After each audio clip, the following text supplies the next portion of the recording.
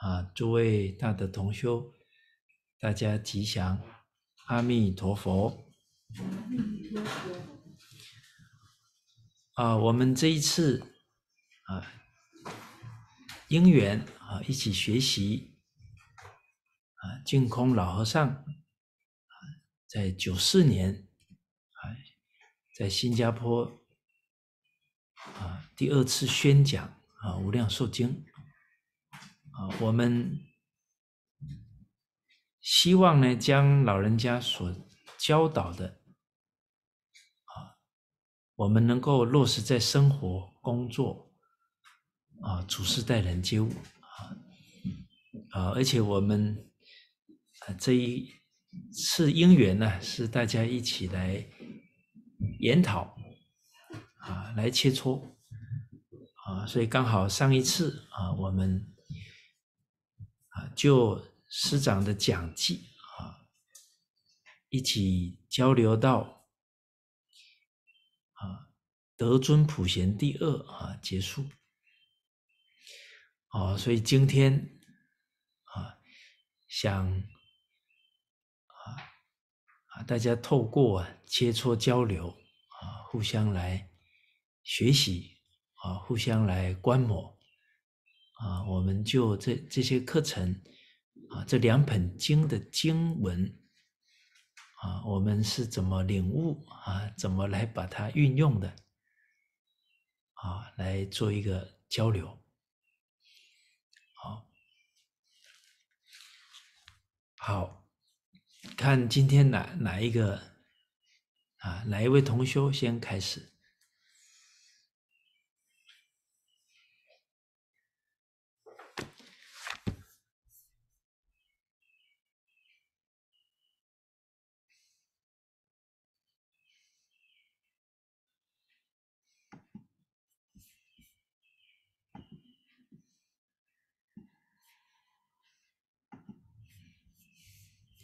这个用点名的会比较紧张，哎，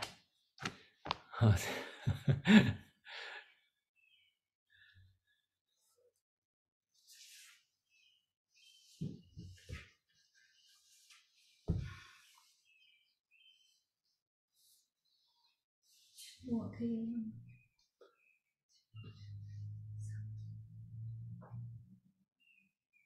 是问问题的。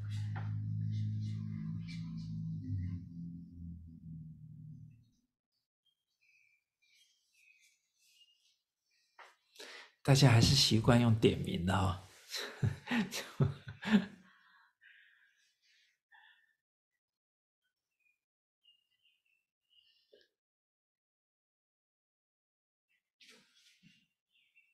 哦，我们有说过这个法不能用错地方啊。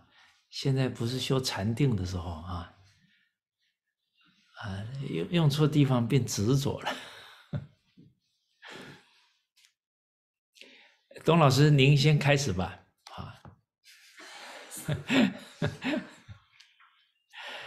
哎，这承德法师二话不说，点名点将点到我了。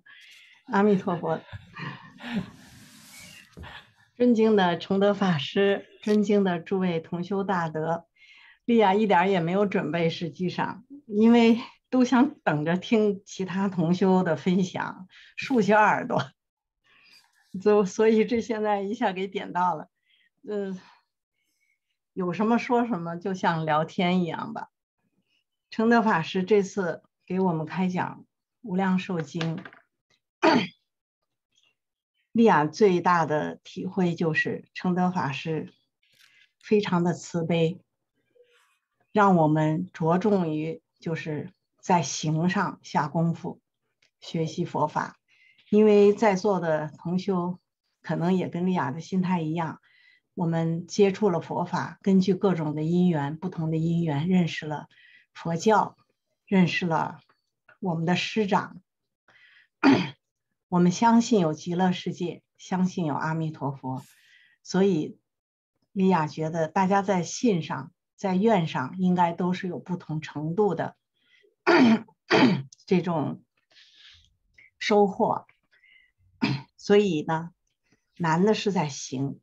如果我们不行，我们没办法证，我们也去不了极乐世界。利亚自己的体会，学佛十年都有余了，行上不知道怎么下功夫，因为师傅上人在讲经的时候讲过，佛讲经啊，至于修行是自己的事。那么修行，谁来帮助我们呢？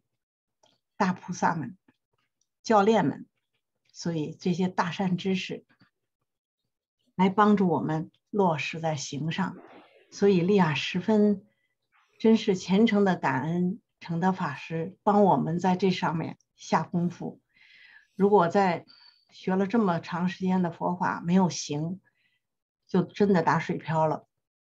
我们。达不到我们的目的，我们也挣不到，且不说果，花报都拿不到，每天生活苦哈哈的，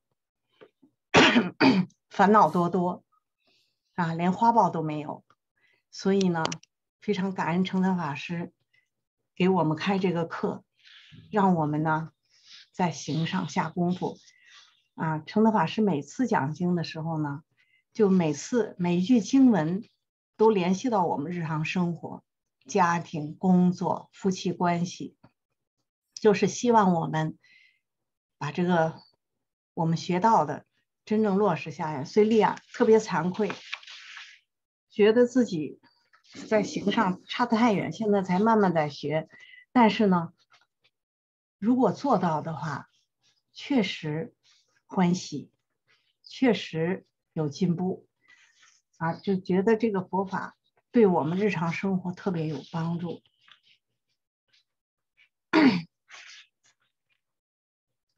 自己呢，稍微的稍微的记了一点点，但是不是很不是很那个什么，所以自己感觉我们特别珍惜这个缘，成德法师来给我们带着我们来修习，所以我们。下课的时候呢，其实真的要想一想，今天学习的我怎么日用在日常生活中。嗯，一句一句来说那就太多了哈，也讲不完。丽亚只能讲点自己的这个例子。丽亚喜欢大经大叫，学佛以后特别喜欢听师傅上人讲经。听了以后一一开始是什么呢？听了以后是满出去看去了。谁不如法啊？我的日常生活中哪出现不如法的事儿，看得可清楚呢。看别人啊，没有回光返照看自己啊。所以呢，心是向外圆的，不是向内收的。那佛法是内学，我们向外圆，什么也得不到。所以别人如何，外面的事情如何，那是他们的因果，跟我没关系，解决不了我往生的事。我自己的。身口意，那才决定我的往生。所以，特别是跟着成德法师学习以来，就觉得一定要往里头看，要看自己。那外面的事情越来越淡，越来越看得清。特别是我们每天我们在家的同修，那丽雅也是这样。那家庭就是自己的道场，那所以在家庭里该怎么做？现在呢，我们家孩子也大了，出去了，但是还有很多联络哈。那每天在一起呢，就是我的先生，他呢又是个德国人。如果两个人一起做菩提眷属，那好很多。那可是他是个德国人，我的德语水平也有限啊，也不能什么都跟他讲的很清楚。他愿意听，我也讲不清楚。再有一个呢，很难往下讲，有些地方。像我们佛法，咱们在座的同修们，我们相信轮回，相信因果，这是学佛法的最起码的一个根基。不相信轮回，不相信因果，就没办法说了。所以这也是我难的地方。但是呢，要慢慢的，我都觉得要感，慢慢的感化他。承德法师一来给我们上课，就举了这个达摩法师的例子。当时承德法师给我们讲课的时候，给我们德国同修讲课的时候，问了让我们推荐我们看这个达摩祖师这个电影。看完了以后呢，法师问我们一句，说电影最后达摩祖师往生前，他说了一句很重要的话是什么？电影就一下看过去了，成德法师一点傻了，那不知道那最后那句话是什么，怎么想也想不起来了。所以成德法师给我们点醒，这句话是什么？不可以轻视执迷不悟的人。任何人在一念之差，他都会弃恶从善的哈。所以利亚看到这个，想到这个达摩祖师这个话，想到成德法师这个提醒，利亚就回想自己学佛以来，就是利亚刚才说的，学习的佛法都去看别人了，没看自己。而且呢，特别要求我看到哪最好你也学到哪，咱们好谈，咱们好搓切磋呀，是不是？特别好的朋友就恨人家不跟自己一块儿学，也没法切磋，也没法说，用这种方法把人家吓跑了呀。利亚吓跑了不止一个，所以真的是在这里忏悔。以后慢慢的才知道，个人的根性是不一样的。我读这部经，我开悟；人家读那部经，人家也开悟啊。每个人的众生，我们在座，我们接触每个人，没有一个是重复的，就是开悟都是不同的机缘，没有一个真正相同的机缘来开悟，都是各不相同的。所以不可以拿这拿自己修行的经验，拿自己懂得的佛理去要求别人。最好是什么呢？最好是要求自己。自己做到了去感化别人，感化不了别人，其实说半天是自己做的不好。你要是做得好，别人感化了，人家自动来学习。所以这是利亚最大的一个事情，最大的一个问题，那就是就这一两年跟着成德法师，特别是这两年来，这是最大的收获呢，就是内观看自己啊，别人的。言行是他的因果，那我们的自己的言行是我们的修行。修行修什么呢？是修自己，不是修人家。这是一个很大的一个收获。所以在家里的话，我先生要是一问到这个佛法的事情，我就把我恨不得把我知道的都说出来。他说一跟你说，就像你就像老师上课一样。我说那佛法就是这样，你让我怎么办呢？其实没做出来呀，你得做出来给他看呐，你不能像老师上课那样给他讲啊。所以碰到日常生活中碰到事情以后呢，我就特别注意了。一个事情出来以后呢，先检查自己，因为有时候他都觉得是他的错了。我说不是，如果我那样做的话，啊，这个事情也不会这个结果。一件事情它出现了。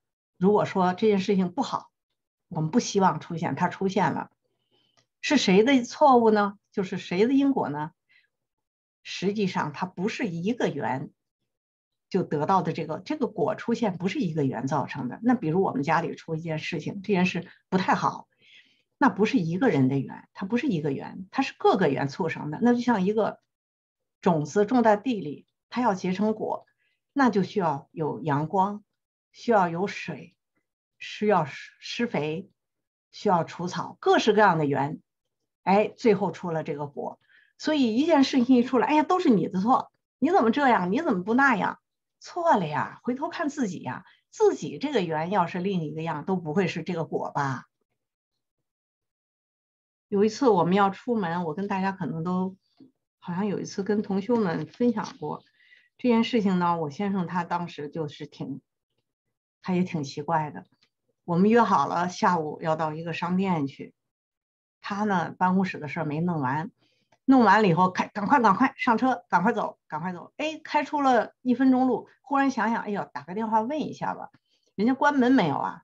那我说那你打电话吧，他就一问，人家关门了。要放在以前，马上那个烦恼就上来了，一堆怨，明明知道早不打电话呀。而且你怎么不早点走啊？这话还不是很多吗？啊，这这夫妻两个在一起不就这样事儿吧？就这样了，出来了，然后就拌嘴嘛，就吵架了吧？但是我那天就没有吭声。我说那咱就回去吧，回去了。哎，他挺奇怪的看我，要以前我就可能就又跳起来了哈。后来我说，哎呀，我忘了提醒你打电话了。啊，我也忘了，啊，是不是啊？这件事一定出来，你怎么老找别人的错？你回头看看自己的缘，你的缘要是不在这儿，少你那一个，可能也不出这个果吧，是吧？所以一件事情出来以后呢，就是一定要找自己。昨天我们两个说好了要上一个朋友家，啊，因为他住的有点远，嗯，开车嘛，他那个那个小路我也很少走，啊。所以我的我的车上没有那个导航，我先生的车上他导航，我的车上没有，又弄手机很麻烦。然后我就说咱们一起去，他说好，说好了的。到了昨天下午，告诉我不，我都穿好了衣服，什么都弄好了。他说我不能去，我为什么？他说我今天中午喝酒喝多了，我觉得我现在特晃。其实他一直在客厅弹钢琴，要以前那不是又跳起来了吗？那走都说好了，今天下午去，你中午喝那么多酒干嘛？他有时候就喝一点，就是因为那天中午他觉得饭特别香，因为是圣灵圣灵诞灵节嘛，昨天，所以我给他做使劲儿的做了很好吃的饭，然后他就喝了酒，然后我就想，那马上那个嘴不就会带出来吗？明明知道下午要出门，怎么又喝那么多酒？这是一，再一个你早说呀，这是第二，第三。你听，你说你喝酒喝的脑袋不好使，你弹琴弹了半个小时，挺挺来劲的。那钢琴在客厅里梆梆梆敲了半个小时，这话能说出来吗？没有。一转念，我就说哦，不能去了啊。我说你知道自己有点迷糊，他说是，我的酒劲儿我觉得还在呢。我说好，我说那就不能开车了。我说喝了酒是不能开车，但是喝了酒你那琴弹的还挺不错的。结果他哈哈大笑起来。这本来是要要一场烦恼的，结果他哈哈一下大笑起来，就这事儿就过去了嘛。完，他说后来还他还加一句：“那以后我弹琴前再喝点酒，是不是？”他 就来说这么一句。你看这个事缘是这样的嘛，急也没有用，是吧？家里的事情，这有啥急的呢？家里的事情今天不做，明天做，重要的不要忘记念佛，这个事儿别耽误就行了，其他事儿都好办。所以也没有烦恼了，就是一个承德法师点名儿，我只能想到昨天这个例子，忽然就是身边 昨天想到的。总之呢，这段时间学习有一句话特别入利亚的心，就是承德法师在讲经的时候讲到这个嘛，就第二品里头有嘛。嗯，那句经里那句话是什么来着？知一切法吧，悉皆空寂，生身烦恼二语俱尽，这不就解决了吗？都是假的呀，都是假的。这句话不是对别人讲的。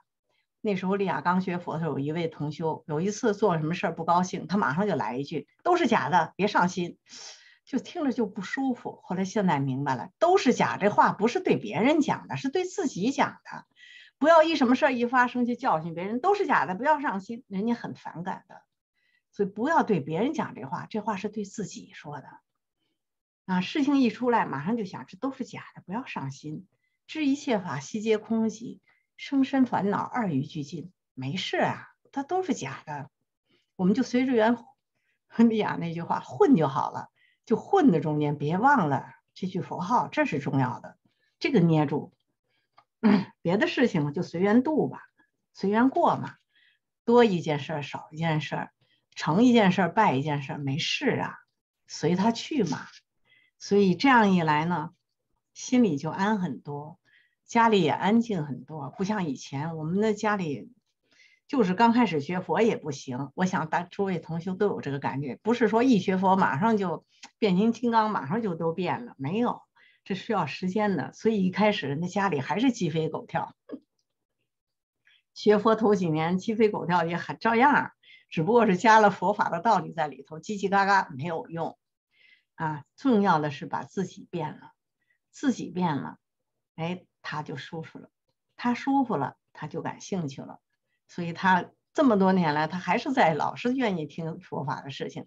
可是我就有一次，有时候他就说：“他说你讲来讲去都是就那么几句话，就这么样。”我说：“我想跟你多讲，就是讲不下去了。”他说：“为什么？”我第一你不信因果，第二你不信轮轮回。我一说多你就说胡扯，那我说我必须住嘴了。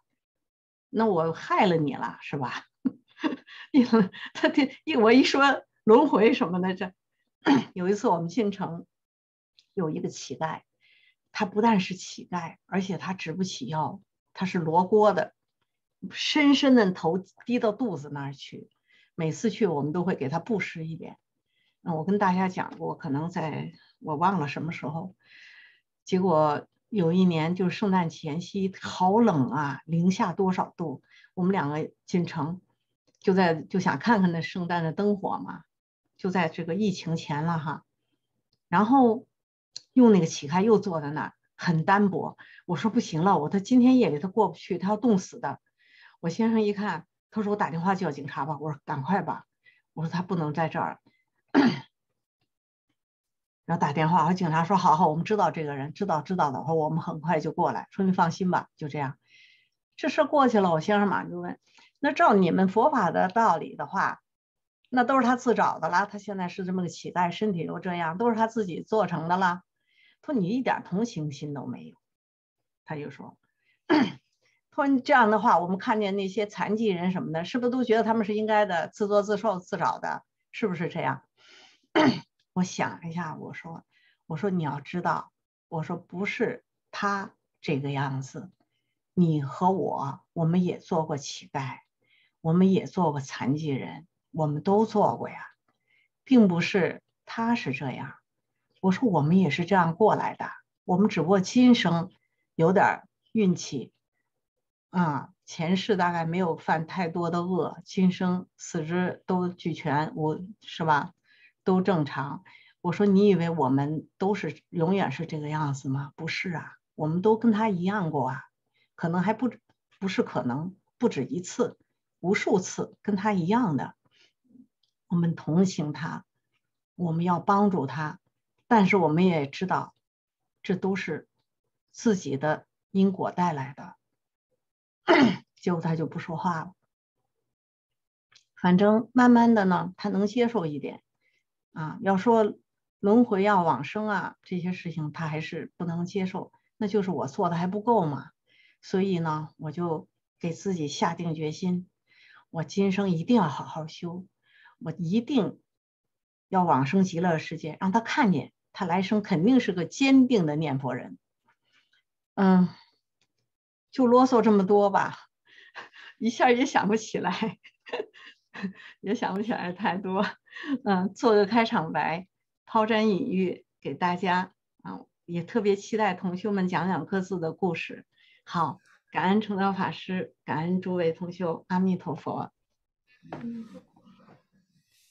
啊，谢谢董老师。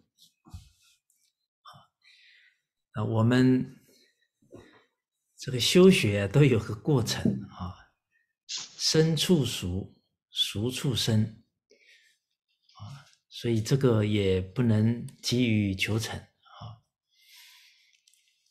哦，那。当然呢，长期熏修啊还是很重要啊。我们能多熏习啊，在境界当中啊，能够提得起来。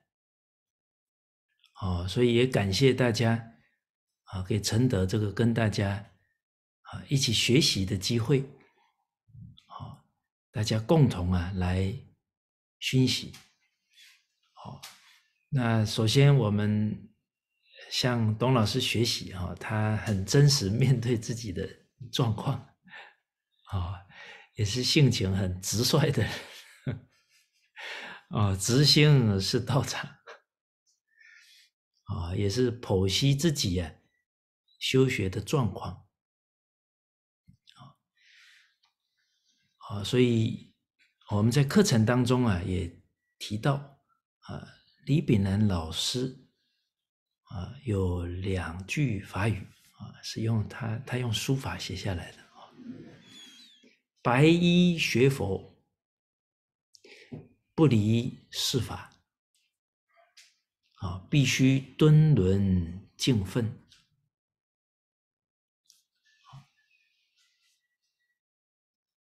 等于是我们白衣学佛啊，绝对不能忽略尽本分。啊，不然就学空了。甚至会学偏了，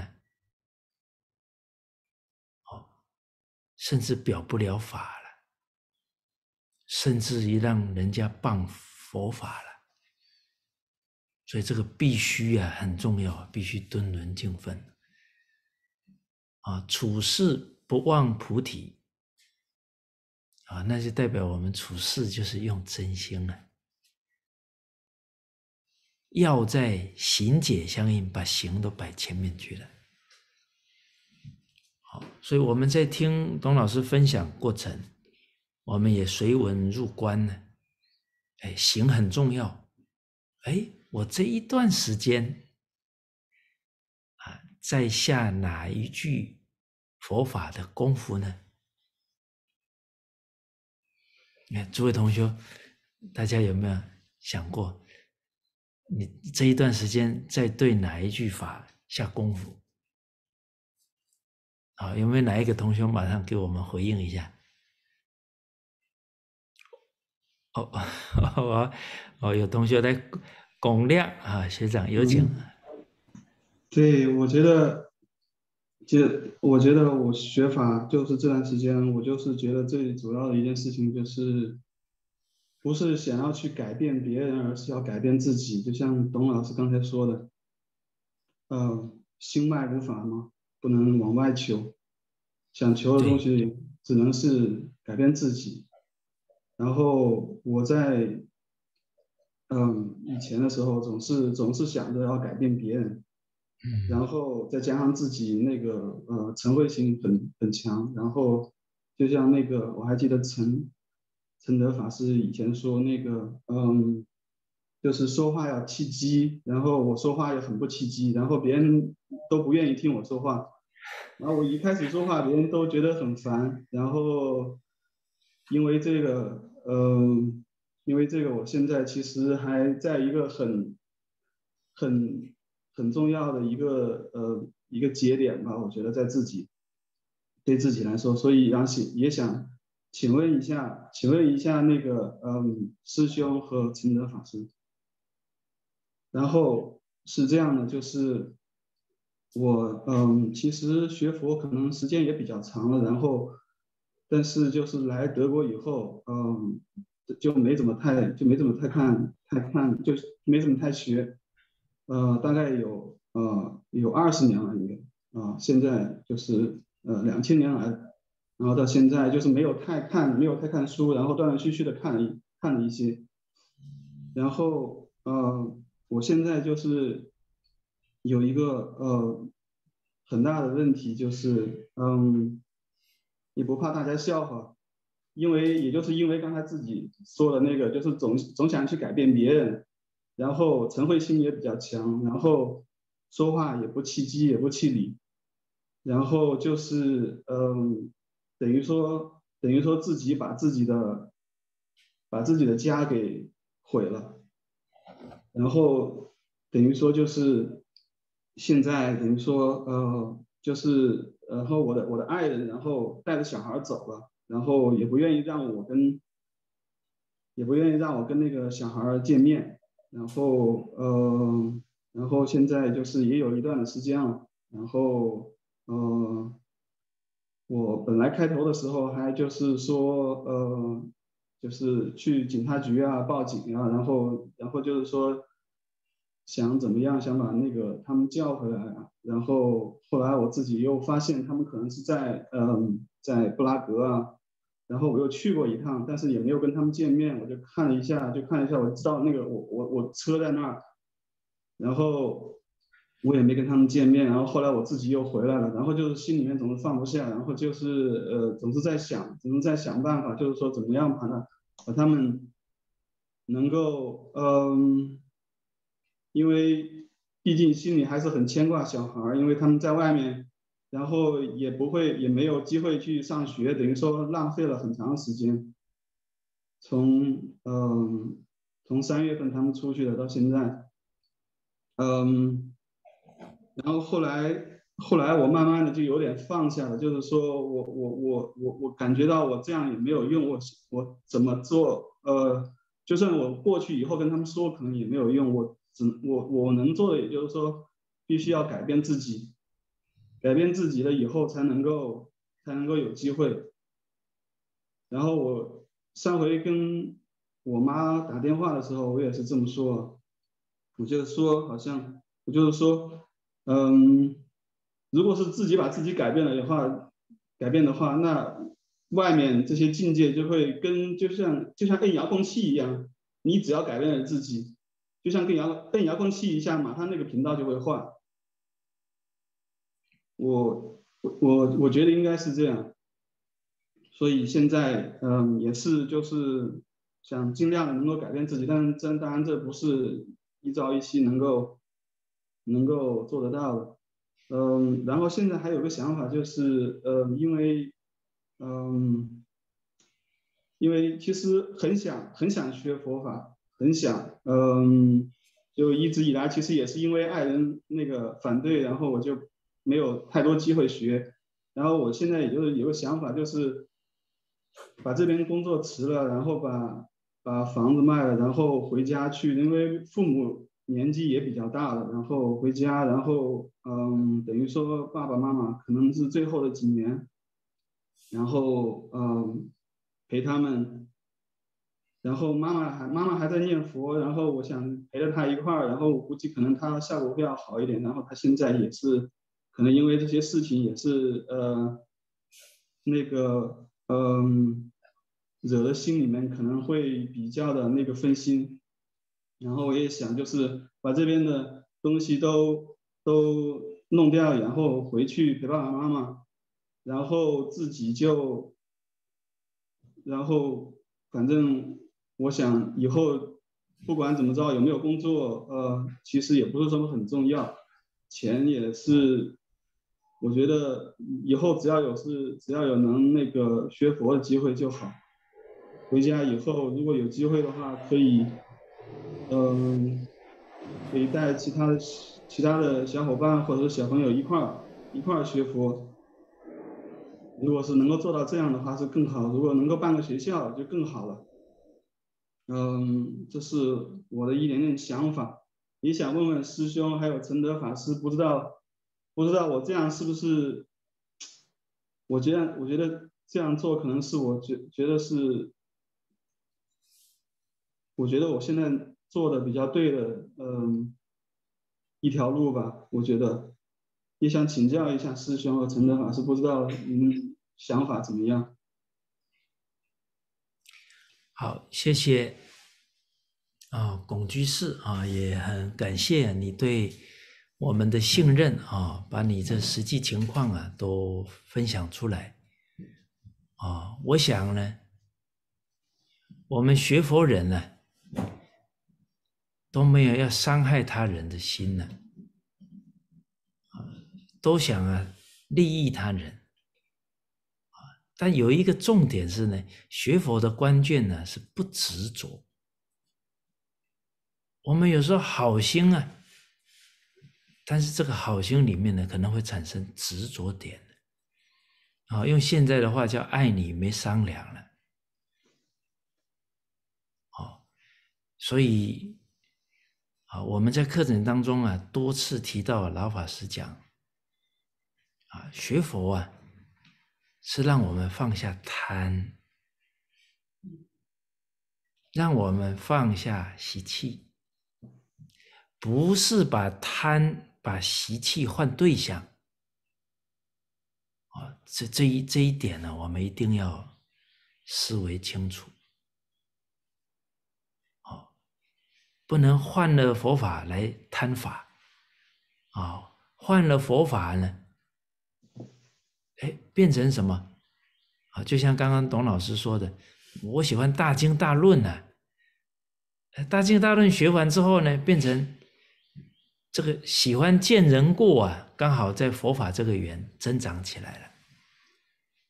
那不是换对象吗？啊，其中还有一个特别明显的执着点，我们自己要看到，就是师长常提醒我们放下控制的念头。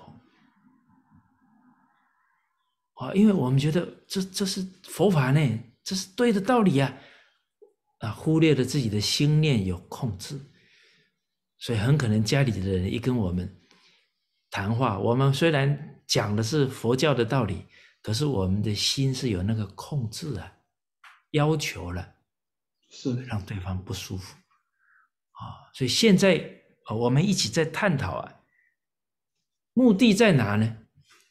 目的在我们要找到我们执着的地方，这样我们才能够改善呢。啊，就像大夫治病，他得先把脉把准了，他才能对症下药啊。哦，那我们现在要自己把自己的脉了，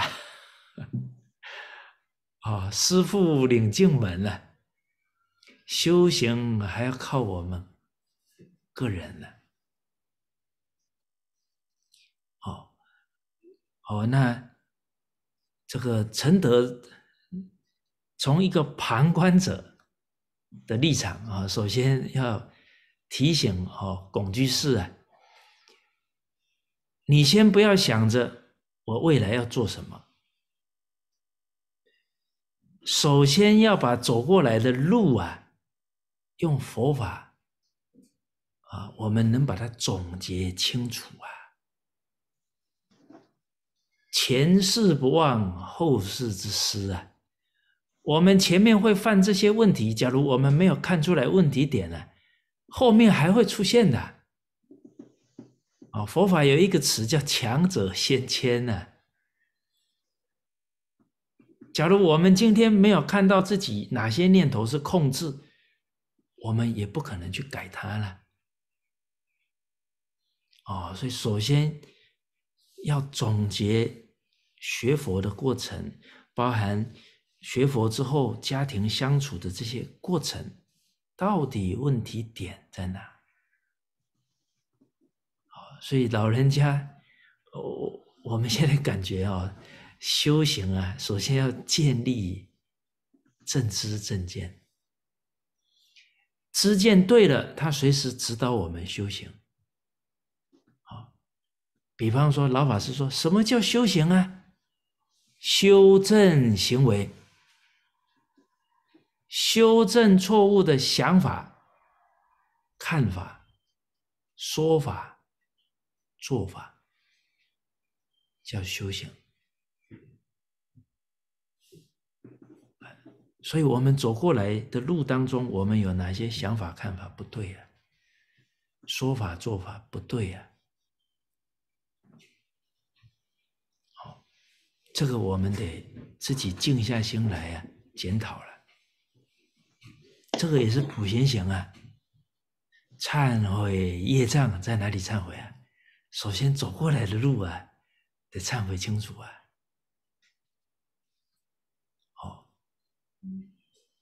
忏悔我这个过程对谁不够礼敬啊？这礼敬诸佛啊。哎，对谁都没看到他的优点，只挑他的毛病了，这个跟称赞如来相违背了。哦，所以老法师开解普贤行愿呢，啊，你把其他的九愿做到了，那叫真忏悔了。啊，礼敬诸佛，改不恭敬一切众生的过。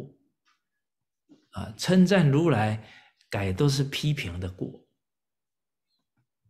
啊，那广修供养，他改小心量的过，也都是改过啊。好，那比方说您刚刚提到了，哎，大家都不喜欢听我讲，那这是一个结果，原因我们把它找到了。就能转了。哦，那这个部分就要您自己去沉淀了。嗯，啊，所以，所以儒家也是我们修学大成的基础哦。哦，在孔子的学生当中，颜回，我们要向他学习哦。哎，他那个不贰过的精神，其实这个不贰过啊。就是忏悔业障的精神啊，我刚刚跟大家说，修学的正知正见很重要。为什么老法师他要说，我修学的基础是张家大师帮我扎下去的？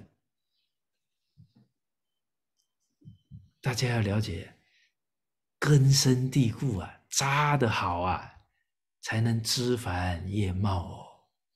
所以根基重要啊，先入为主，是不是正知正见的？他才能指导我们修行了。哦，啊，刚刚董老师说的，这个不会修行人，你连花报都没有啊！不要说果报了，这一生花报啊，人生最高的享受，越学越苦哈哈的，花报都没有了。啊，所以我们想一想，张家大师教了老法师什么？什么叫忏悔啊？后不再造。我们有没有发觉一个错误之后，告诉自己，我不能再这样糟蹋自己了啊！我也不能再糟蹋别人了，我不能再犯这个错了，因为一犯错啊，伤了自己也伤了别人了。哦，啊，这个后不再造，张家大师教的。再来，张家大师特别提醒，要解行相应啊，解帮助行，行又帮助解。好，所以很好。我们刚刚一问，啊，大家有没有当下在例行哪一句教诲？啊，那龚居士说的。不要改变别人，先改变自己。其实这一句也是张家大师强调的修行重点。佛法是内学，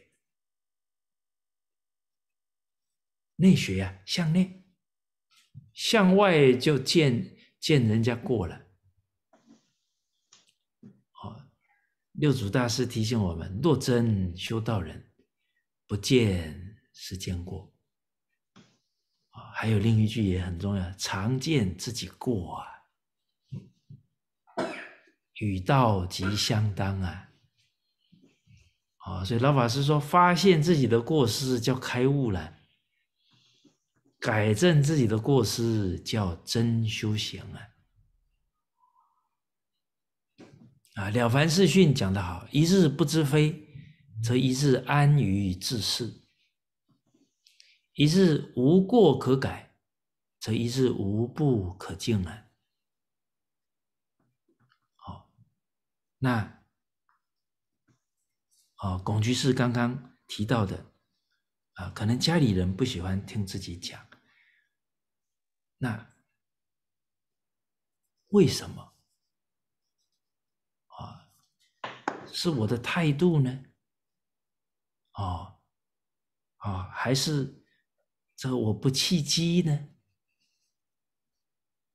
啊，您您针对这一点，您自己有找出来吗？态度不好，然后控制欲比较强。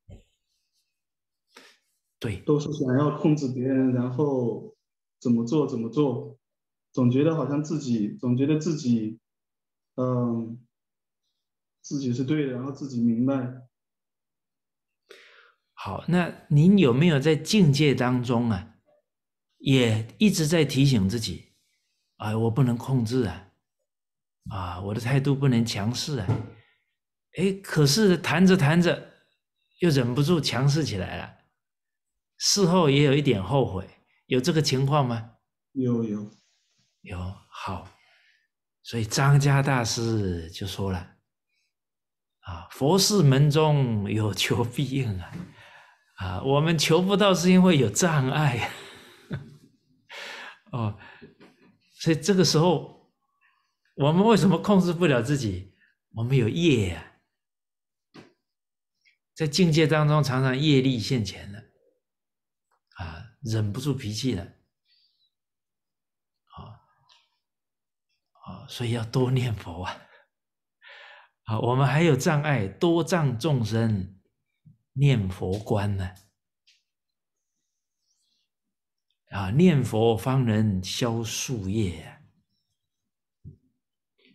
哦，所以建议龚居士啊，您这个可以 download 一下啊，这个我们印光祖师有一段很精辟的开示哈，短短的，但是他老人家保证说呢，只要照着做，决定可生西方极乐世界啊，可能在座也有人很熟悉这一段啊，无论在家出家，必须上敬下合。我记得，我记得这个。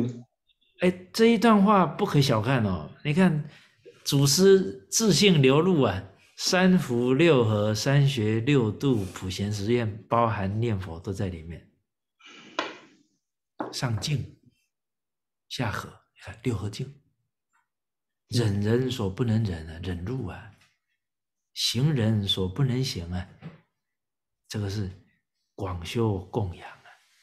嗯，好。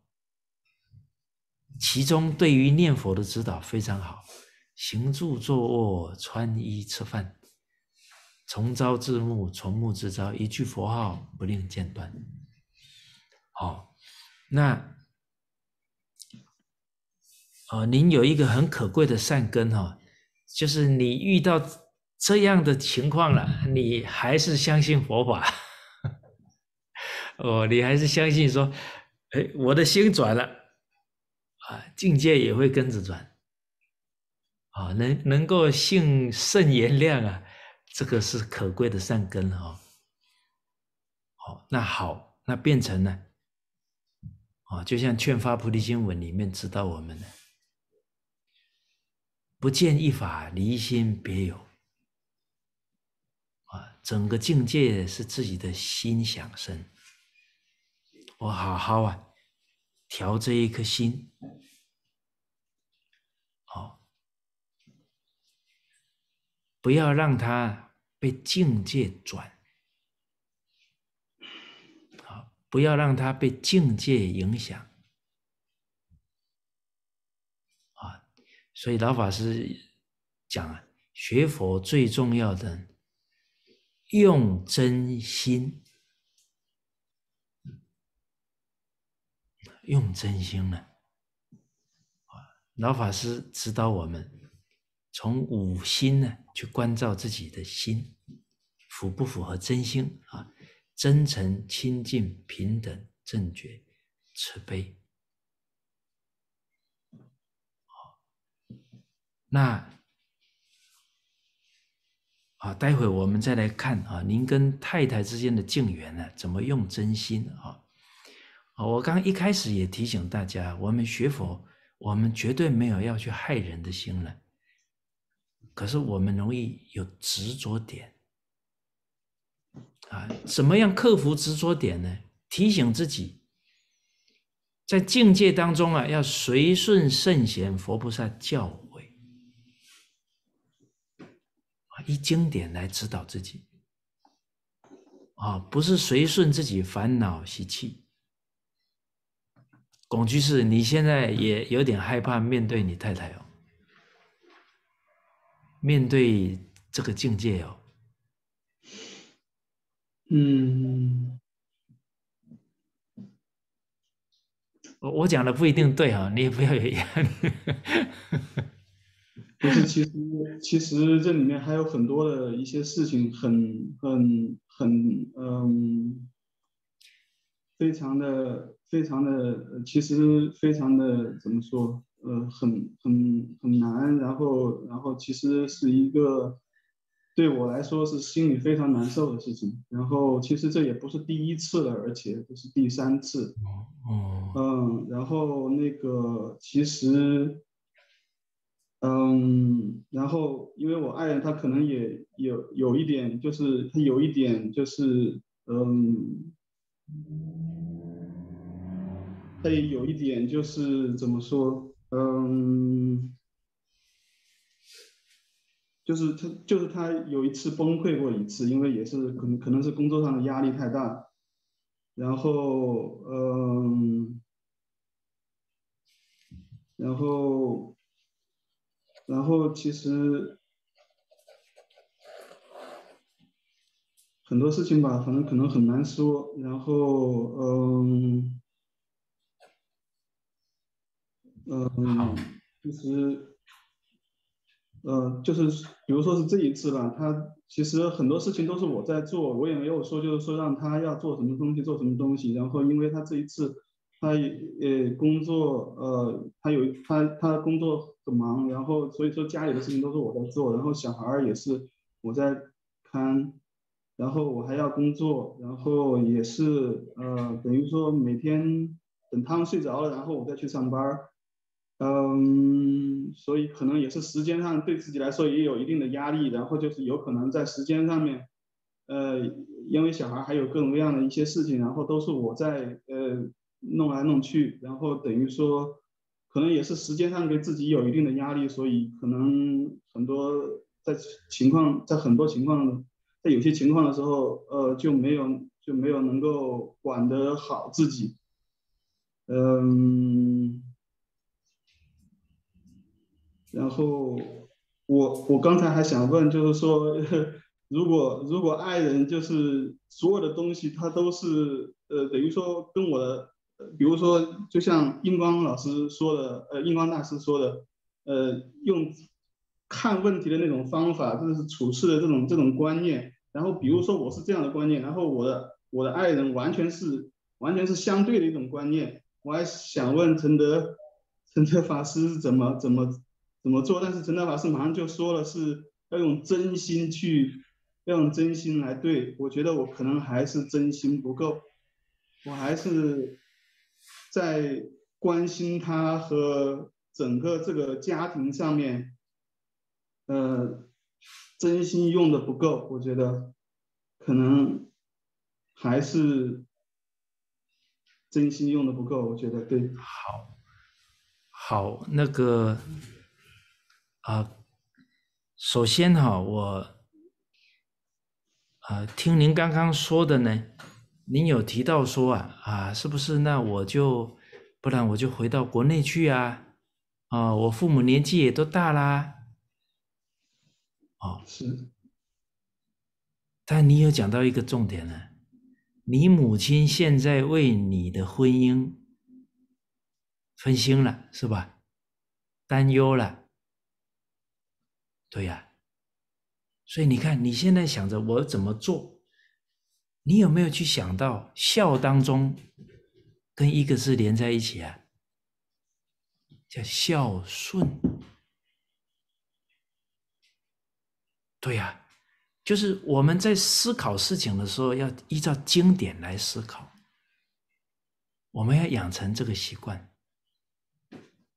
不是随顺自己的想法看法。应该随顺经典的教诲，不然呢，你也不是恶意啊！啊，父母年纪大了，好，我回去孝顺吧。可能你这么一做，又没有顺他们的意，他们更担忧。那那到时候你也很无奈呀。嗯，是，嗯，陈德法师是这样的，就是其实我父母他也知道这个情况，然后就是说。嗯，也这个是一个非常无奈的一个一个一个一个状况。那陈陈德再问一下啊，你你们这个夫妻结婚以前思想就是南辕北辙嘛？好像有一点是这样，对。所以，那你当初为什么还是结了婚呢？哎，因为因为后学可能可能当时就是可能当时就是不对，有可能确实可能是这样。我我不是这个意思。我我知道我知道，但是但是但是确实但是确实可能就是这样。我现在也不是说嗯 好。没关系，有佛法就有办法，随缘顺受为忍辱啊，随缘了。既然走到这里，就随缘了哈。哎，哦，那我们还是相信人之初性本善啊。哎，虽然现在的看法不完全一样啊，但是呢，我们能把对的做出来，也能够触动别人的善根。好，未来。不要去烦恼啊，不要去烦恼。为什么？那叫未来烦恼了。啊，过去的事呢，也不要去懊恼了啊。总结经验，哎，总结好了，很清楚。嗯，我不要再犯这些错了。总结清楚，对自己也是一种正能量的补充。不然都搞不清楚问题在哪，那可可可难受了啊！啊放下过去烦恼，也放下未来烦恼，安住当下，守好自己这一念心就对了。好，不管未来的结果怎么样，最起码我现在开始用真心了。结果如何啊？我也对得起我的良心了。啊，我曾经尽心尽力、仁至义尽的努力过，那就对了。你能够真正这样做了，那你也是对你的孩子最好的供养了。可是今天你假如选择退缩了，你的孩子就没有学到东西了。哎。甚至于有可能你的退缩会造成你孩子心理上的阴影了。他怎么去理解他的父亲呢？嗯，所以我们面对人生的这些境界挑战哈，还是要面对，不要逃避它。哎，哦，那首先呢，多念佛啊。业障消了啊，念佛方能消宿业啊。我们在境界当中啊，就不容易业力做主。啊，再来您刚刚说的，哎，一切境界也是我的心想生啊，所以要调整自己的心呢。哦，现在跟他还有这个电话、微信吗？没有什么太大的联系，没有太多的联系。然后这也是，就是说，我想的，就像是，嗯，就像是，好像是，就是那样。你们想去飞，好吧，那就你们去飞吧，我就也不妨碍你们，也不怎么样你们。你们要想回来，我在这里，所以我会等着你们，然后我也会一直支持你们。但是你们要想去飞，你就去飞吧。我现在有点就是这样的一种想法，然后也想是给自己找到一个找到一个怎么说，一个一个一个平和的处境吧。然后这样的话，自己也可以开始下一段下一段的嗯生活吧，时间吧。现在就是联系不多，然后几乎没有联系。我他们好像也就是爱人，他也不想好像跟我有什么联系。好，哎，你尽量不要想，你们要飞就飞吧，哈。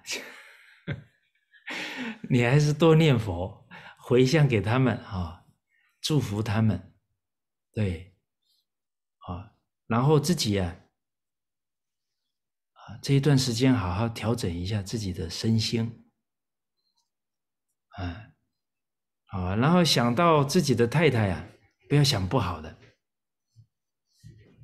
啊，念恩忘怨，啊，你只要想到太太，有想到负面的，赶紧阿弥陀佛，阿弥陀佛，啊，然后呢，多去思维整个从相识这个整个过程，他的。不容易付出在哪？优点在哪？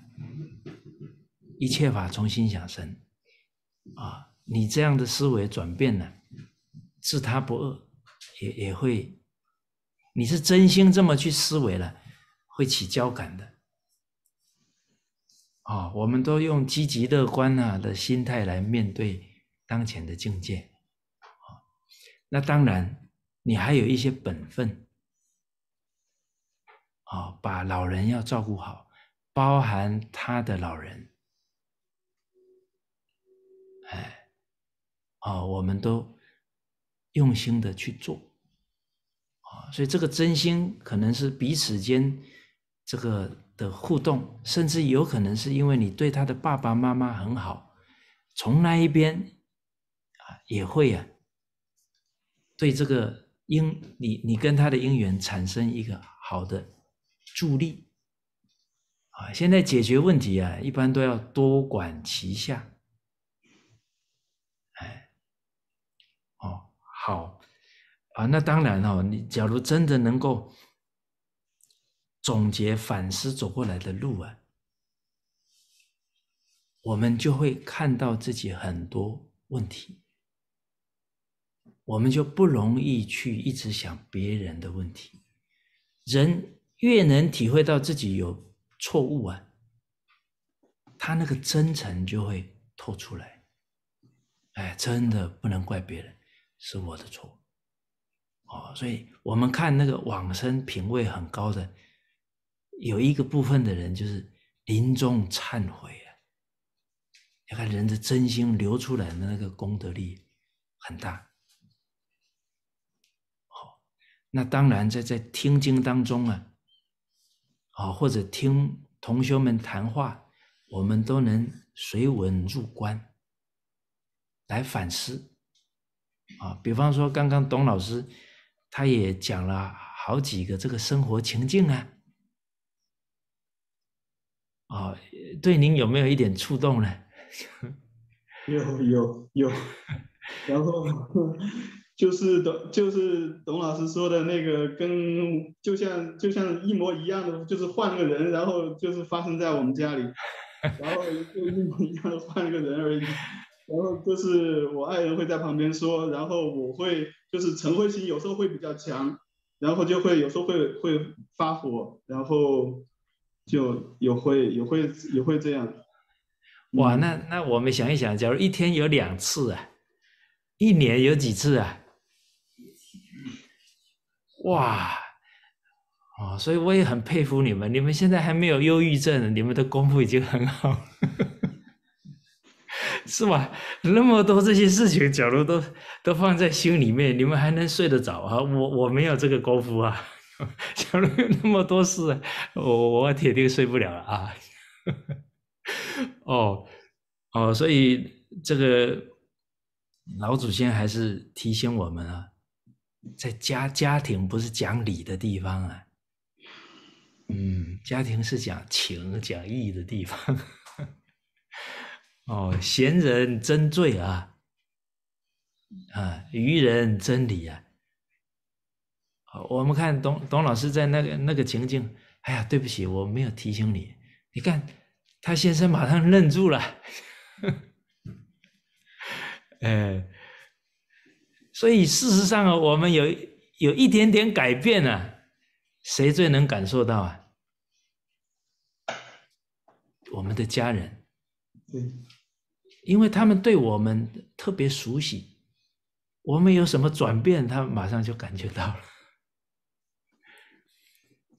哦，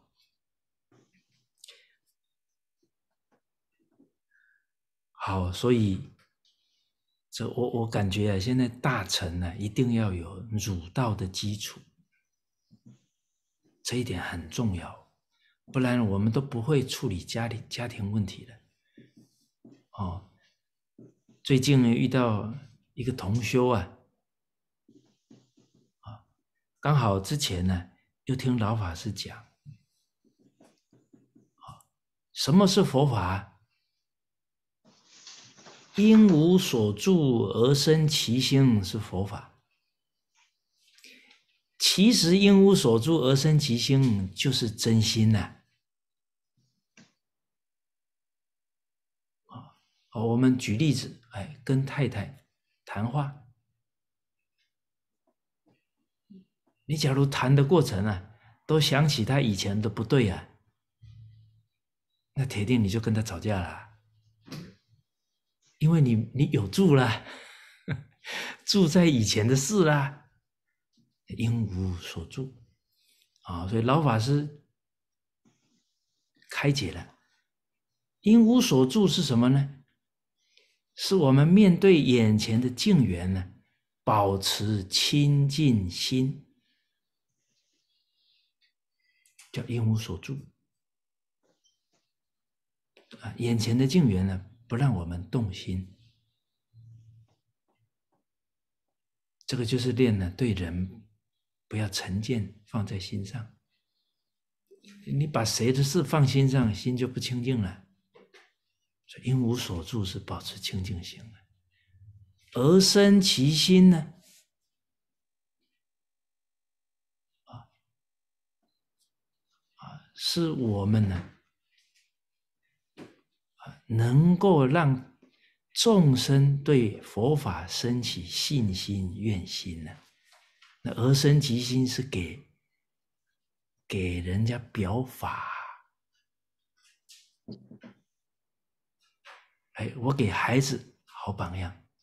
我们这么一提起来，在孩在小孩面前，这夫妻不能吵架，会会给孩子不好的影响了。哦，所以，而生其心啊，是要让大众啊对佛法更有信心，要表好法了。啊，那同修就有提到了。啊，有一些啊心呢，要学佛的家庭，好几个家庭啊，结果他们一进来啊，看这个学了五年、十年的家庭都不和，最后都不敢学了。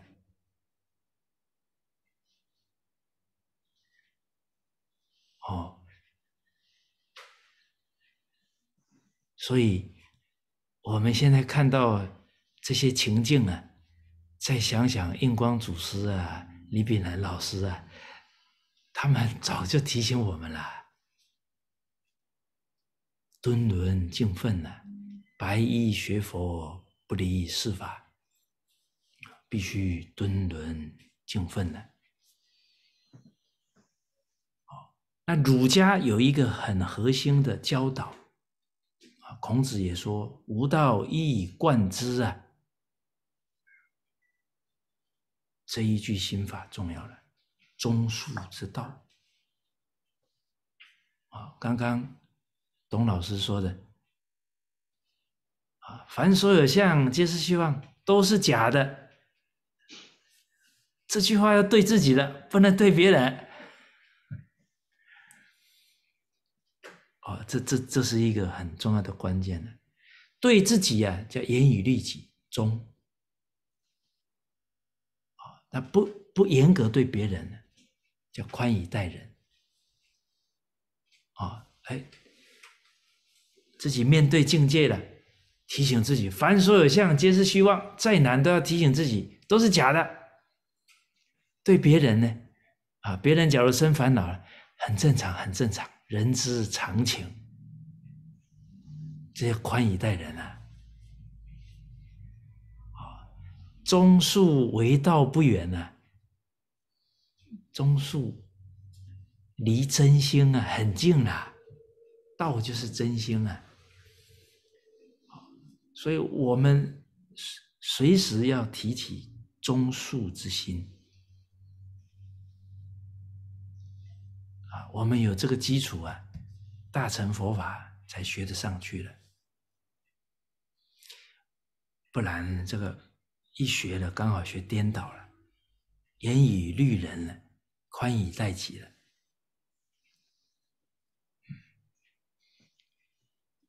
好，那相信啊，这个董老师啊啊，比方说啊，当当您要说那一句说啊，对不起，是我没有提醒你啊，一开始要说也不是很容易吧。哎，可是真的说出来了，最后自己也会欣慰的啊！我没有被境界转了，虽然讲的有点勉强，我把它讲出去了，时而勉强啊，讲久了就习惯了，呃，就很能，呃，什么事情都都把过失揽到自己身上来了，啊，好，好，那。谢谢董老师啊，也谢谢我们龚居士啊。阿弥陀佛，谢谢老师。好。好，我看大家在听的过程都一直点头啊啊，铁定大家有很多误处啊啊，看哪一位要再再给我们分享一下啊？这个法布施的聪明智慧哦啊，假如有领悟不不出来分享，会得鱼吃果报的。嗯，哦，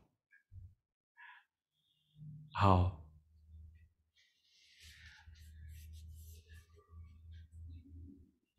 啊，有请啊，李牧阳居士啊。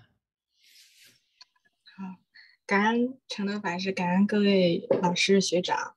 嗯嗯，学生就是嗯，想回答一下师傅刚开始就是想让大家啊说一下自己的这种体悟。就是学生非常惭愧啊，最近也是有一些退转的现象。嗯，对学生来说呢，就是。学嗯，这次学习《无量寿经》也是从敦伦见分下手，就是因为嗯，家人呢就是试金石，就是真的是一面镜子，就是无论我在外面怎么怎么样，比如说我之前也在呃道场待过，然后呢，我觉得在外面人都可以假装，都可以装。但是呢，只有在自己家人面前才是最真实的自己，就是你都装不了。所以说，如果就是说家庭真的是道场，如果说在家人面前，你你真的把自己改变了，把家人就是当做佛菩萨一样，就是跟所有人都平等了，那就真正的修成了。就是嗯。如果就是对家人都是能用真诚心啊、清净心、平等心，嗯，学生就觉得自己就成了。但是现在做的还是非常的差劲，嗯，但是觉得最好的方法就是真的是从敦伦尽分开始，就是尽自己的本分，想自己有没有把妻子的角色做好，有没有把这个母亲的角色做好。然后，嗯，学习，嗯，到目前为止，学生对学生印象最深刻的就是老法师的那句，就是要学会保护自己的清净心，不让自己的清净心受污染。然后，学生觉得真的很难呐，就是生活当中，就是每一件小事、细微的小事，它都是一种。那个境界啊，都是一种考试的境界。那自己的贪嗔痴，嗯，很容易就就上来了，然后就啊，嗯，怎么说呢？就是把自己的清净心给污染了，然后自己总是喜欢随顺自己的意思，然后呃，为自己考虑的比较多，就是很难去为家人考虑，然后就就是像法师说的。爱你没商量，然后你就要听我的，然后这种控制还有占有的这种，嗯，就是这种根深蒂固的想法非常的强烈。然后就是学生想，嗯，说一下最近自己的一个真实的那种心心理吧，就是最近不是有很那个法师去了多伦多吗？然后去看了那个。弘一私塾的孩子们，然后我就想，哎呀，我去不了。然后那个，我倒不是说，呃，我非常想去见师傅，嗯，没有这种心理。但是我就觉得，哎呀，我为什么心里有点酸酸的？为什么？哎呀，我的孩子没有在那个学校呢？然后我就想，我为什么不把那些孩子都当做我自己的孩子呢？我为什么心量？这么狭隘呢？我就我就想，为什么心量跟针别人似的那么小呢？就不能把所有的孩子当做自己的孩子一样吗？如果我要是没有这样的大心量，我还怎么以后怎么那个做佛陀的弟子，怎么做呃师傅上人的弟子啊？嗯，师傅还还说要大家发心，就是做小学老师。嗯，那我就。自己以前也有这种心愿，就是暗暗下的这种 发的这种心愿，就是但是也不敢讲，因为怕自己做不到。心量太狭隘了，不能把所有的孩子都当做自己的孩子一样去看待，更何况自己对自己的孩子也不是完全的那种，说是非常的嗯真心，就没有，就是也不是那种纯纯的啊慈悲心和爱心，都是嗯有夹杂在里面的，还是说嗯那个就是为自己考虑的。还是比较多一点，就是比较自私一些，所以这是 学生呃前两天的一个呃那种怎么说呢心境。然后呢，我就给我的给我妈打电话，然后我就说我为什么哎心量这么狭小呢？然后嗯，我说我也不是说非嗯就是非常想去见师傅，因为我觉得。嗯，我见了师傅，我也不能成佛呀，我也不能去极乐世界，这个修行还得靠我自己呀。然后 我妈妈说：“哎，你你你不知道你身边就阿弥陀佛就在你身边吗？”我说是。哎，我说对呀，他说你家里不就有俩阿弥陀佛吗？嗯，我说哎是啊，那我还嗯我还这么心量还这么呃酸酸的，还还这么狭隘干什么呢？对呀，我说那个佛菩萨无处不在，嗯，然后我家里啊父母是佛菩萨，啊丈夫是佛菩萨，儿子是佛菩萨，那我还呃佛菩萨从来不会舍弃我的。然后我就想，哎，自己怎么就不能克服这种狭小的心量呢？就是我该怎么扩大我的心量呢？就才能，嗯，就是把所有的孩子当做自己的孩子，把所有人当做我自己一样。就是学生现在是做不到的，但是我很希望自己，嗯，可以这样子。然后，嗯，还有就是，嗯嗯，啊，还想。分享一点，就是之前，嗯，一个事情吧，就是，嗯，之前就是有那个呃，承德法师那个呃，父亲你往呃，父亲往生，然后然后我们就是嗯，老师让我来就是帮忙整理名单、回向名单，然后当时我就想，哇，每天那么多名字啊，哗哗哗的就进手机里来了，我说哇。这个名字怎么这么多呀？然后我呢，一面就是非常的佩服那个思彤老师，我就想，哎呀，怎么应付的这么多，这么多，太多太多了。然后，然后我一面呢，就有点就是要要起这个烦恼了，就是有点，嗯，就是觉得，哎呀，太多了，我好像脑子要晕掉了。后来我就想到了师傅的那句，师傅，然后我就想，师傅说，嗯，活在，呃。这个世上一天就要为众生做做事情啊，利益众生。然后我就想到师傅这句话的时候，我就觉得，嗯，哎，烦恼没了，我就可以就用真心去做这件事情，我就不想它有多么的烦躁，多么的复杂。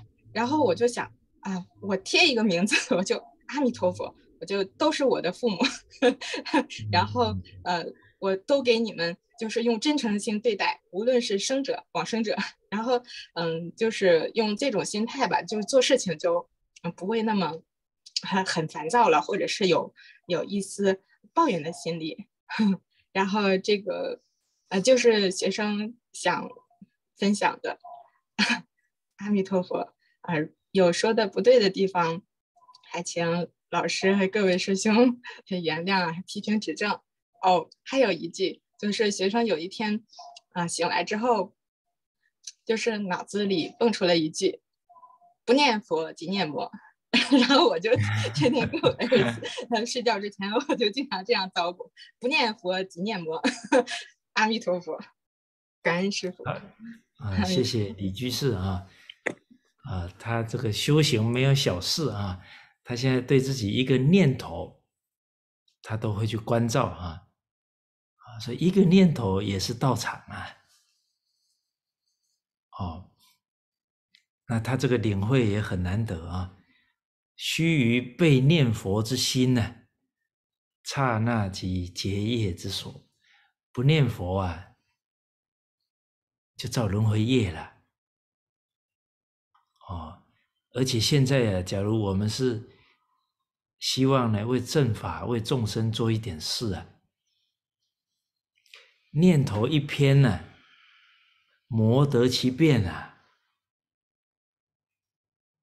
啊，念头不偏呢，得到佛菩萨不可思议的加持。啊，所以诸位同学，我们得要稳住啊！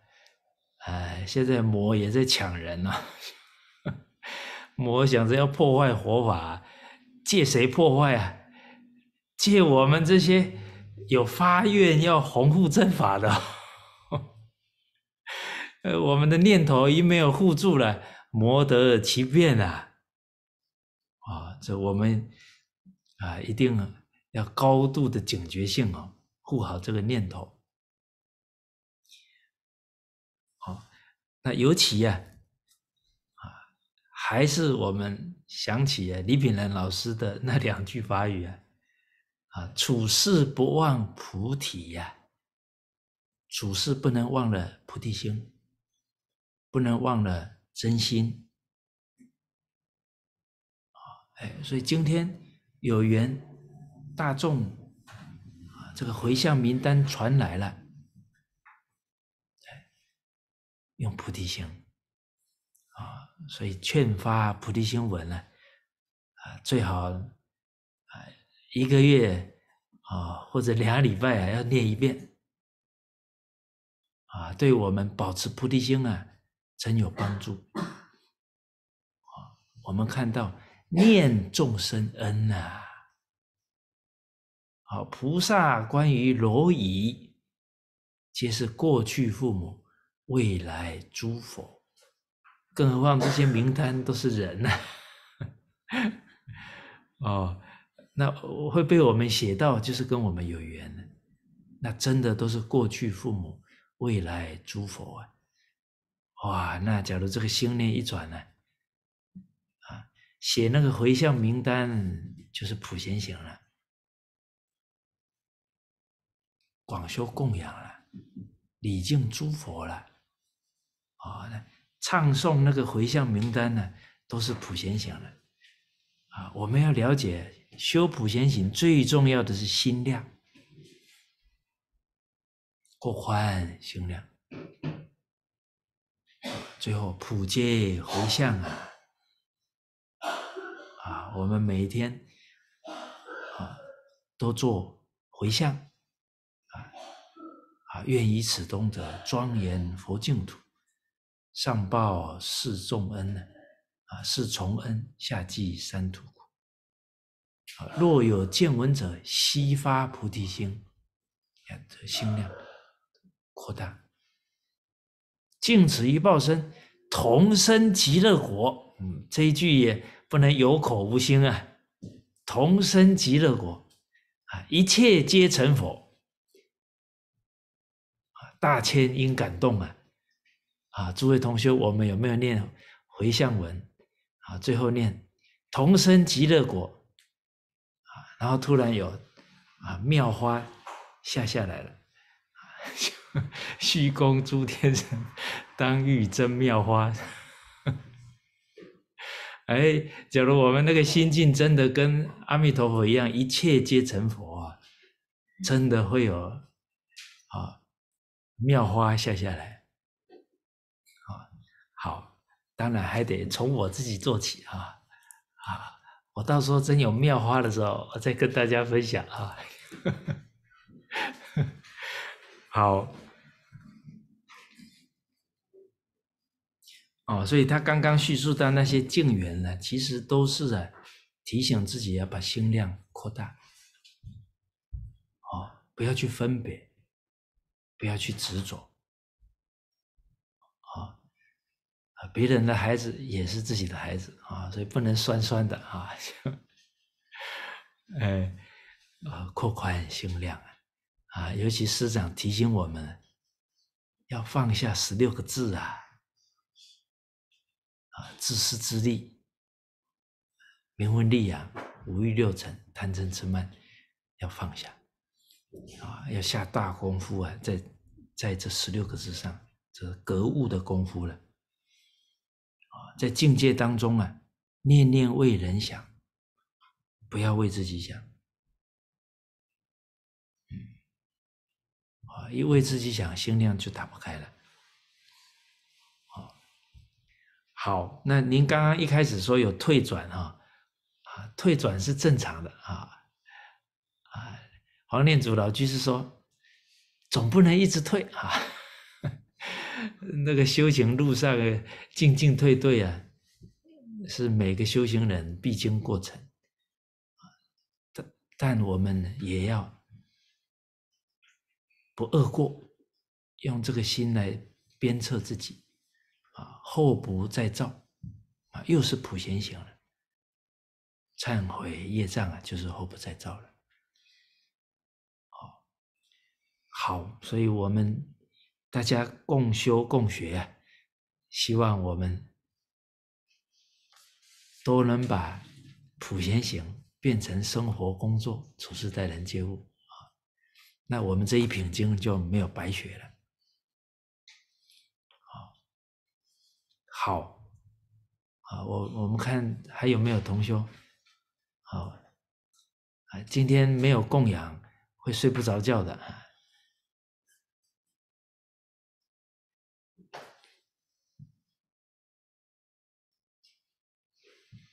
哦，大家都这么客气啊！哦哦，好，啊，张居士有请。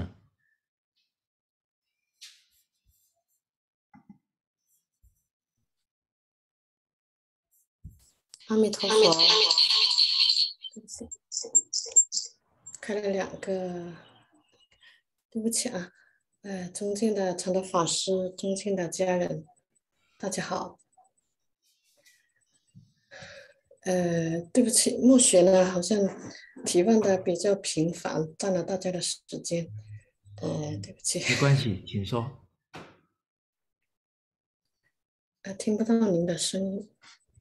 我也听不到您的声音。喂，啊，没问题，请说。打开，我听不到。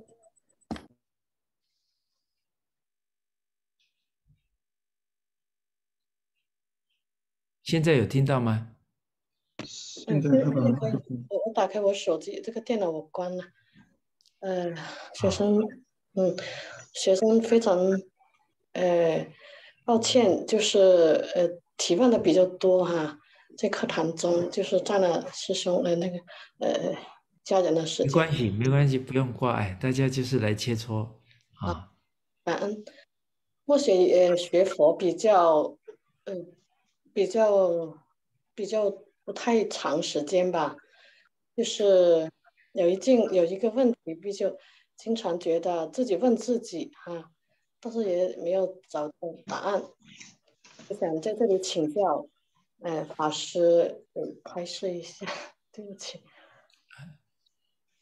请说。就是学佛呢，哎，因为之前我我一位老师学佛，就是几十二二十几年前吧，那老人家已经快八十岁了，是默写的大学老师，呃，就是二十几年前一直就就是想就是建议默写学佛。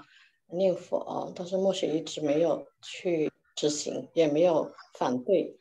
后来默雪是听了净空老法师的，也是一位师长介绍的哈，介绍。因为有一次是我爸爸出了一个境界，那时候我找不到呃怎么样去帮我爸爸，后来我就把这个话跟我的一位学佛的师长讲了，他就是跟净空老法师学习的。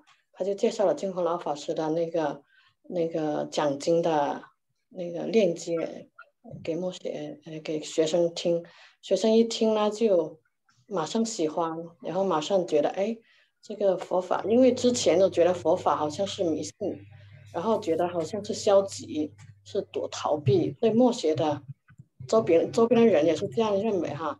后来默写一直没有去关注佛法，学习佛法。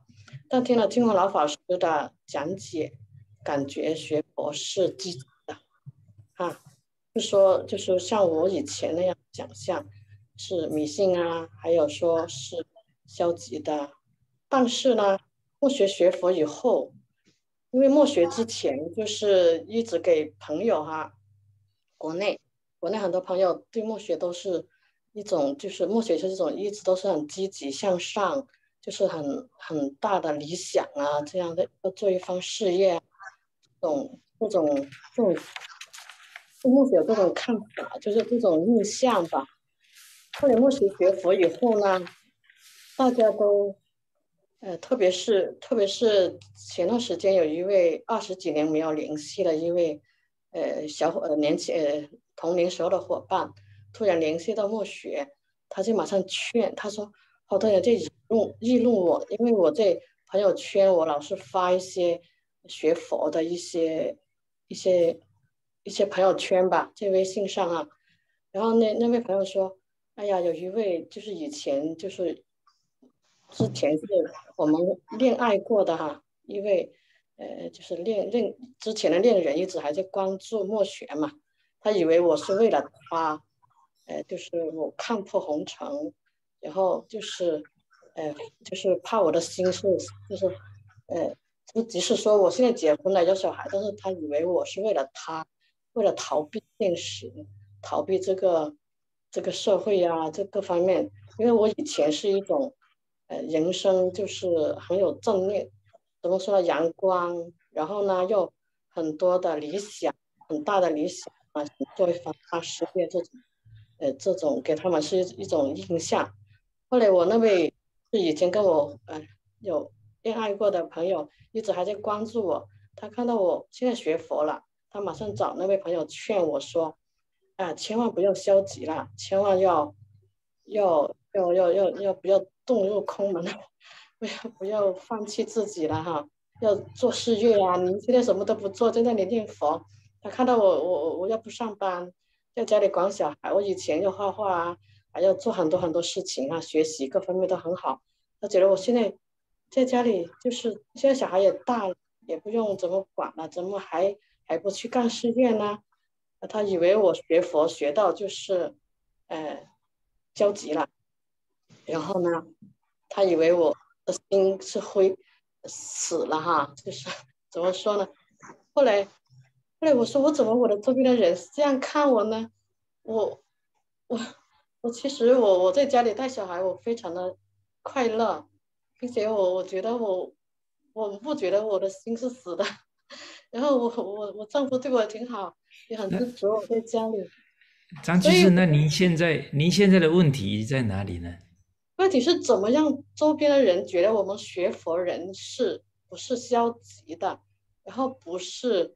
就说好像也不做事业啦，也不做，好像就像我先生哈，我学佛之前，我的先生说过好几次，说老是往佛堂跑，好像人都不在，因为我的佛堂在佛堂在下面，就在这里哈，就是一个一个杂物室，我把它收收整起来，就是当我的佛堂，上面是住家的，他的老是看不到我的人，有段时间老说我嘛，后来我就说，哎呀，东龙进犯，东龙进，赶快就说。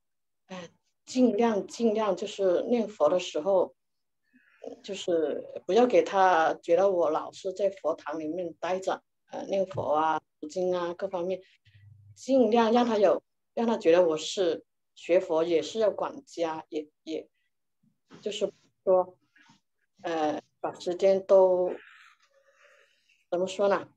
其实家人和朋友都觉得不要让别人觉得学佛人什么都不管。也不管事业，也这个好像做事也是消极的方面，嗯，好，哎，你那里麦克风听不到了，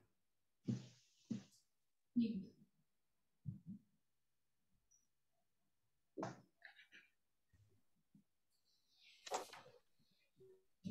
陀佛，听不到您的声音。可以，现在可以了。现在可以，现在对不起。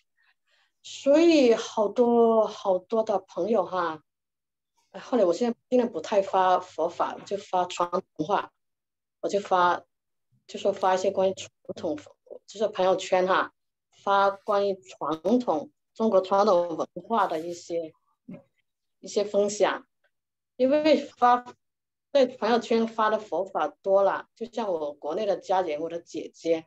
都觉得我这里消极了，好像不理事了这种，我让他们改，怎么样让他们改变，就是对学佛人的这种这种看法想法呢？感恩 请教，请老呃，从的法师开开始。好啊，谢谢。嗯，张居士哈，啊，我们今天有提到啊，学佛啊，是放下贪，放下习气，不是换对象啊。所以我们有一个习气啊，太在乎别人对我们的看法了。啊，尤其在乎谁呢？在乎那个我们很在乎的人啊。哦，啊，有时候天下的人都误会我都没关系，谁不能误会我？误会我，我就活不下去了。你看，啊，这些修行的重点就在这里了。哦，你还有哪个人、哪个事会让我们起烦恼？那个就是修行的重点。那个是留，还会留我们在娑婆界的缘呢啊！啊，这些都不动我们心了，就有把握去了。啊，你还牵挂、贪恋世间一根草，贪恋哪个人的看法？啊，在乎哪个人的看法？你有有可能就被他拉回来了。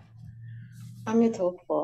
对不起，不，学生不是这个，呃，其实不是这个想法，是觉得不要影响给别人给有一种，就是给给学佛的人一种不好的印象，是这个。好，这个你假如不希望给别人不好的印象啊，但是你首先呢，也不要先担心给别人不好的印象。你也容易担心哦，所以我们是借由静缘，有没有关照到自己的心念，甚至看到自己性格里面要修正的部分。好，那从您刚刚的叙述里面还有一个重点哦，哎，亲戚朋友都觉得你是那种啊要创一番事业的人，很积极哈。哎，但是我们现在感觉，好像你你那种豪情啊，有点减少了啊。您您觉得关键在哪里啊？哦，像我今年五十岁了，我觉得我豪情不减当年啊。哦，想当年啊，快二十年前啊，一个人到了海口，我挺有豪情的哈。现在过了 十九年了，我豪情还是不减当年了，我还是挺积极的。我就不知道说您是因为学了之后有哪一些，就是感受啊、想法，感觉你你现在的整个展现好像有点不一样。阿弥陀佛，对不起，刚才听不见那个网络的。可以，可以，可以。刚才听不见，听见了，哎，现在可以啊。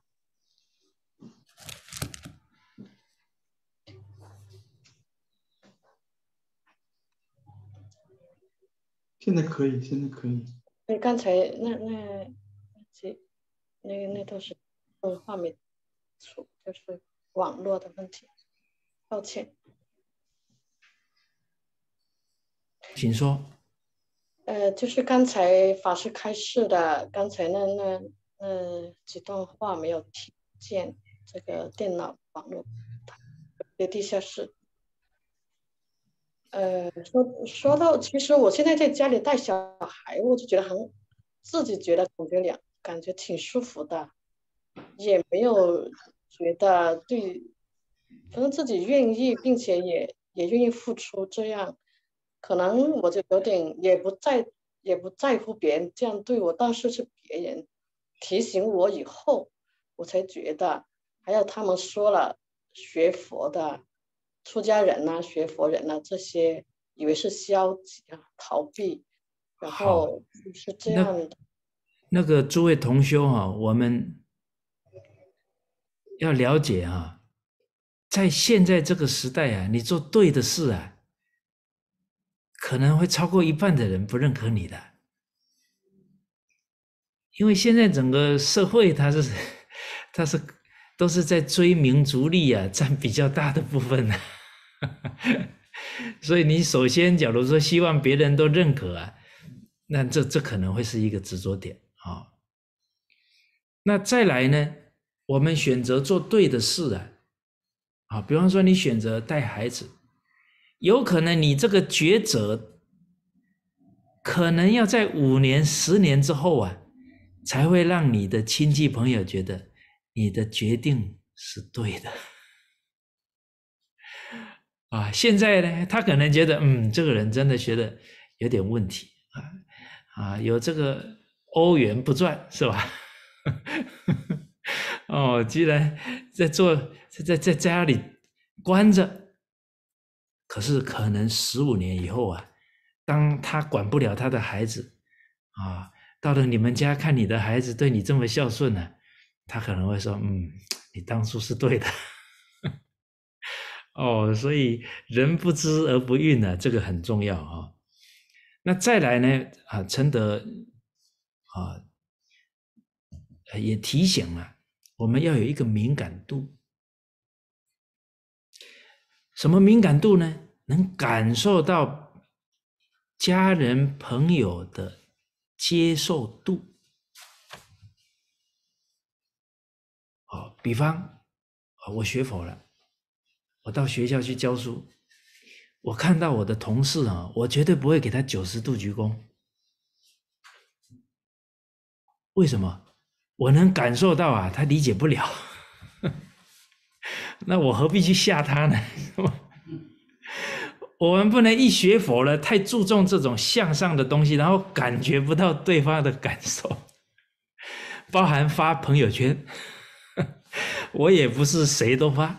哦，我我这个东西要发，我要马上感觉到，嗯，适不适合发给他？所以发朋友圈会发到人家觉得，嗯，这个人遁入空门啊，说不定下个月就剃头了啊，然后还让家里人担心啊。我 那一天遇到一个头修，说我先生很担心我会出家，我说那你就有过失了啊。你一定学到了，让让他起了这些担忧了！你只要能够感受到对方的感受了，你就不会继续让他有这个担忧了。菩萨所在之处啊，让一切众生生欢喜心啊！啊，所以我们在家里啊，要懂得恒顺众生，你要精进哦。精进啊，不是向上的精进，精进能够放下我是最精进的，都能考虑到别人的感受。啊，你看你你你先生跟你说，怎么老是往佛堂跑啊？啊，那这句话他在 complain 什么？我们能听得出来吗？假如你家里的事都做得非常非常好，做到让他很满意哦，我想这句话不会出来。哦，甚至他他他会问你说：“哎，我看你家里的事都做得很好，哎，你还拿那么多时间去念佛，你是怎么做到的？”啊，这个时候你就要跟他说：“嗯，这个跟念佛很有关系。”啊，因为我念佛，我的心定了，所以我做什么事啊，啊，做得好，时间又不会花太多啊，哎，那那个这个这个就不一样了。阿弥陀佛，学生补充一下，其实我先生他，因为他疫情在他在家里上班嘛，其实我是做了很家里很多事情都做的我自己，他的看了眼里都做的都很努力做。不过他觉得我的人，他也他在家里上班，他觉得好像他看到我在班旁边，好像他舒他觉得好像比较欢喜，就是希望我在他的周边看得见，因为我的佛堂在下面。后来不过经过莫学的一番的上小上巧哈，跟他一起学中国传统文化，然后又给他看那个呃净空老法师的法语方面的一些一些佛法的书，他现在就改变了很多。然后他有时候来佛堂，他要去骑车啦，我在那个佛车来佛堂敲敲门说：“哎，我去骑车啦。”然后跟我说了两句“阿弥陀佛，阿弥陀佛”，就去骑车啦。然后呢，上段时间有家人，法国的家人来家里看探望我们，他也跟他们说：“哎，学佛就是学自己的心哦，哎要，他能够说这句话，我也觉得很很了不起。他说学佛就是修自己的心，他他这样跟那个亲戚朋友说，还有我院子里面有有插了那个那个播播金机，莲花播金机，种了一些菜。”他就跟他们说：“我的菜是听了那个播经机的佛号才长得这么好的。”就跟那个跟亲戚他们说，所以我觉得，哎，其实他慢慢有变化了。因为因为我我还是顺着他的意，就是尽量在他的周边给他看到我在家里，呃，就是我减少哈，减少在佛堂的时间，然后我自己改变我自己很多的。脾气吧，我还是有脾气的。之前，然后呢，他就最主要是我跟他一起学中国传统文化，对不起，我跟他学法语版的中国传统文化。然后呢，他也分享就是录音，我把他那个中国他在读中国传统文化的录音，我把它发到这个群里面供养给大家。我说你这样对大家很好，对这个世界都有贡献。我是夸他，所以他非常的开心，所以他现在觉得对我这个学佛没有什么，呃，就是像以前那样啊，怪怪的，呃，很好，哦，所以我我们能够把六度啊普贤十愿啊落实在跟家人相处啊，应该家人不会反对。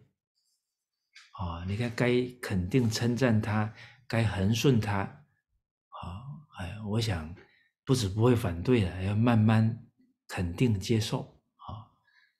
好啊，谢谢啊，张居士啊，好，哎，我们董老师举手了哈，多多感恩。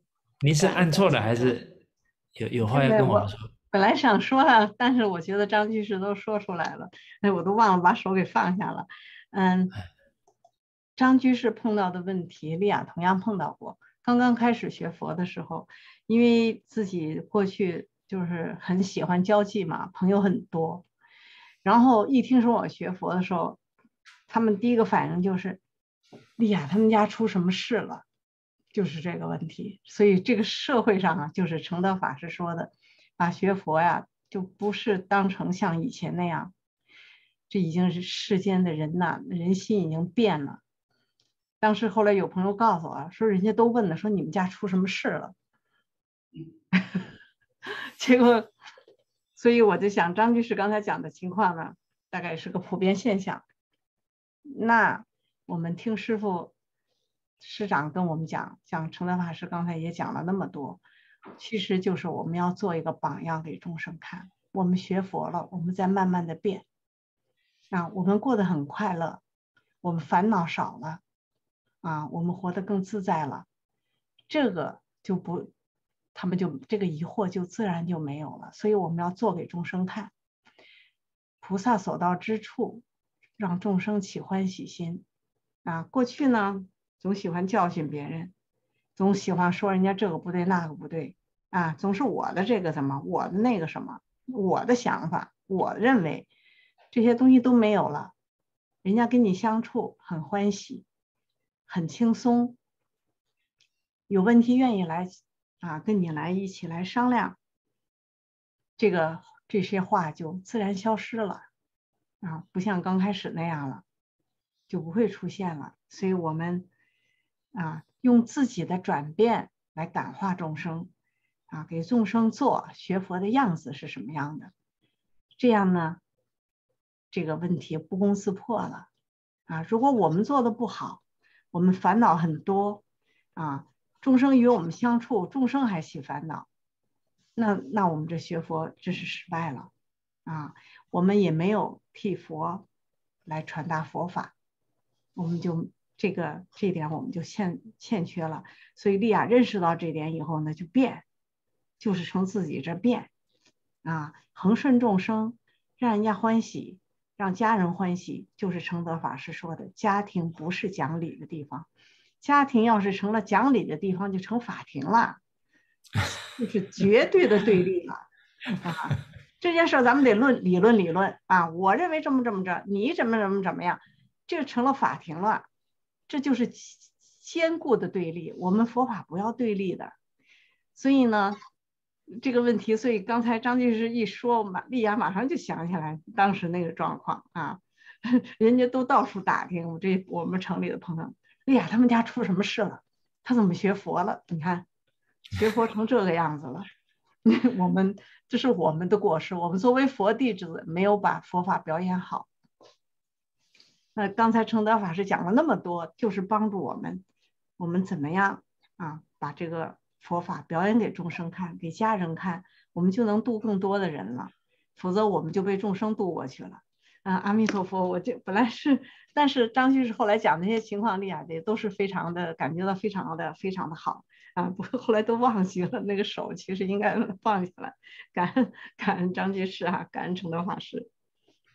好，谢谢董老师啊啊，所以我们要感受啊这个。